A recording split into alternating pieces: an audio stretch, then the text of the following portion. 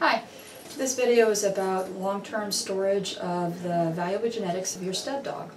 Here at Town and Country, when we set up the reproductive lab, we looked into on-site long-term storage and we ran into a lot of problems regarding uh, legal issues and the logistics of shipping and, and so forth. So we set out to look for a company that could meet those needs that we were looking for.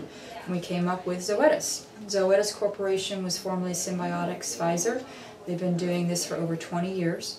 They have a dedicated area that, that has um, a lot of security in terms of cameras, on-site guards, and then limited access to the, the actual site where the semen is stored. Another thing that we really liked, or I personally liked about it, is they have a 1,500 gallon liquid nitrogen tank that's only sole purpose is to pass liquid nitrogen into the other storage tanks. They're an AKC approved site.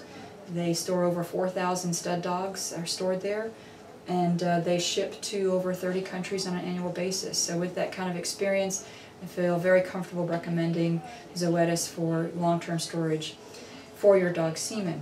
If you have any questions, just give us a call here at Town and Country Animal Hospital. We can go over things or just mail you a brochure. Thank you.